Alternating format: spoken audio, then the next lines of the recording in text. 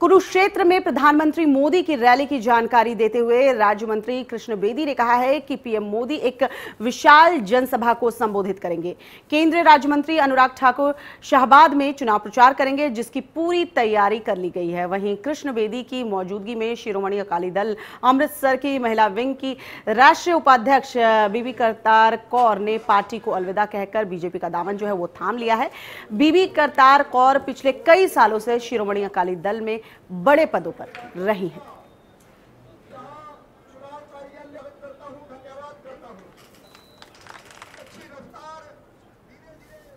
कुरुक्षेत्र में theme park में मोदी जी इस जनसभा को संबोधित करने के लिए आएँगे।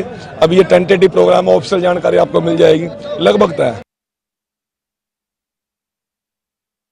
श्रोमणी अकाली दल में राष्ट्रीय अमित प्रधान के पद पर मैं और कोर कमेटी के कि स्त्री विंग के मूल सब पदों से मैंने आज इस्तीफा दे के श्रोमणी अकाली दल के दफ्तर को इस्तीफा भेज दिया। तो आप कौन सी पार्टी ज्वाइन की आपने? अब मैंने बीजेपी पार्टी ज्वाइन की। क्यों ज्वाइन की? कोई खास दिखा आपको कुछ? बिल्कुल बिल्कुल। मैंने इनकी नीतियों से इनके किए हुए कामों के अब तक इतने काम कभी भी नहीं हुए हमारे हरियाणा में जितने अरोड़ा खट्टर जी ने किए कितने कमान देख के मैं प्रसन्न होकर मैं बीजेपी ज्वाइन